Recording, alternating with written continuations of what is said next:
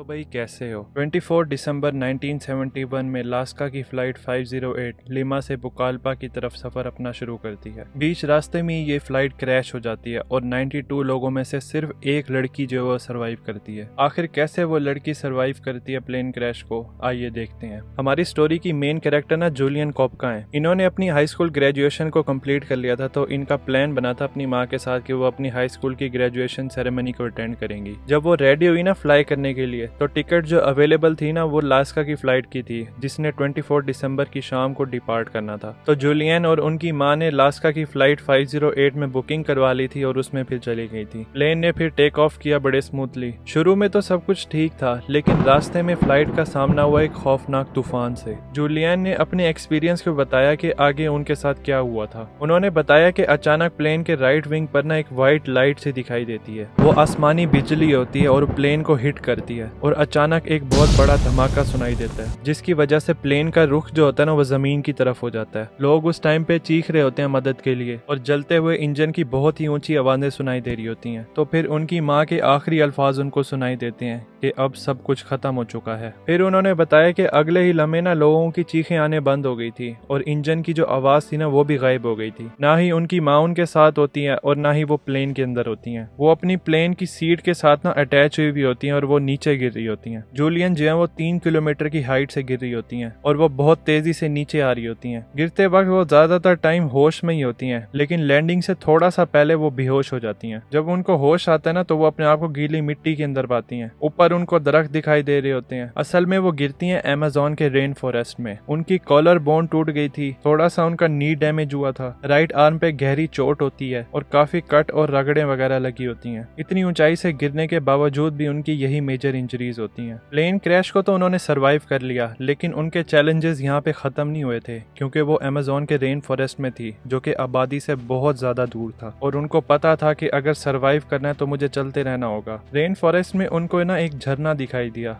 फिर वो उसी को फॉलो करती गई। इस सोच में कि आगे जाके वो किसी रिवर से मिलेगा, जिसके नज़दीक शायद लोग रहते हो या फिर जहाँ पे वो मछलियाँ पकड़ते हो। तो फिर अगले दस दिनों तक उन्होंने यही किया, झरने के करीब चलती रही जंगली जानवरों और सांपों से बचकर। प्लेन क्रैश वाली साइड में उनको टॉफियाँ मिली थी, वो उससे खाकर गुजारा करती थी, झरने से पानी पीती थी और उसके करीब ही सोया करती थी। उनको इस टाइम पे कुछ भी नहीं पता था कि प्लेन क्रैश में कोई बचा है या नहीं बचा। तो फिर रिवर की साइड पर उनको तीन इंसानों की बॉडी मिली थी, जिनको गिद्ध खा रहे थे। फिर उनको अपनी माँ की परेशानी होने लग गई थी। दस दिन के सफ़र के बाद जुलियन को ना कश्ती दिखाई देती है रिवर के साथ। फिर कश्ती के करीब जाती है तो उनको ना एक हट दिखाई देता है। फिर वो उस हट के अंदर चली जाती है और फिर वेट करने लग जाती है कि कोई ना कोई तो आएगा। अगले दिन उनको एक आदमी के आने की आवाज़ सुनाई देती है। ये हट जो होती है ना, वो बेस होती है लकड़ी काटने वालों के लिए। आदमी जो होता है ना, वो चौंक जाते हैं उनको यहाँ पर देख के। लेकिन उसने ना प्लेन क्रैश की न्यूज़ सुनी भी होती है। जब जूलियन ने बताया कि वो सर्वाइवर है उस प्लेन क्रैश की तो उस बंदे ने जूलियन की मदद की थी। खाना देकर और मरम पट्टी करके। फिर जूलियन को सात घंटे के सफ़र के बाद हॉस्पिटल पहुँचाया जाता है, जिधर वो अपने बाप से फाइनली मिलती हैं। इस क्रैश के अंदर ना सिक्स क्रू मेंबर और सेवेंटी वन पैसेंजर जो होते हैं ना, वो फ़ौरन मर जाते हैं। बाकी जूलियन को मिलाकर पंद्रह लोग जो होते हैं ना, वो सरवाइव करते हैं, जिसमें जूलियन की माँ भी शामिल होती है। लेकिन रेस्क्यू करने से पहले ही जूलियन के अलावा सारे के सारे मर जाते हैं। इस केस पर इन्वेस्टिगेशन की जाती है और फिर पता चलता है कि प्लेन जो है ना, वो बहुत ही बुरी हालत में था फ्लाई करने से पहले। ये बहुत ही पुराना प्लेन था जो कि बना हुआ था यूज़ प्लेन के स्पेयर पार्ट से। इस कंपनी का पहले से ही बहुत ज़्यादा बुरा फ्लाइंग रिकॉर्ड होता है। 1966 में इनका एक प्लेन क्रैश होता है माउंटेन के अंदर और सारे के सारे 49 पैसेंजर्स मारे गए। चार साल बाद एक और फ़्लाइट में इंजन फायर की वजह से प्लेन क्रैश होता है और इसमें भी सारे 99 लोग मारे जाते हैं। तो फिर जूलियन वाले प्लेन क्रैश के बाद इस कंपनी का लाइसेंस सस्पेंड कर दिया गया था और लांसा कंपनी जो है वो बंद हो गई थी। इसके बाद जूलियन जो है अपनी इंजरी से रिकवर हो गई थी। तो फिर इस तरह उन्होंने प्लेन क्रैश को सर्वाइव किया था। अगर आपको वीडियो इन्फॉर्मेटिव लगा है तो चैनल को सब्सक्राइब करना मत भूलिएगा। Thanks for watching.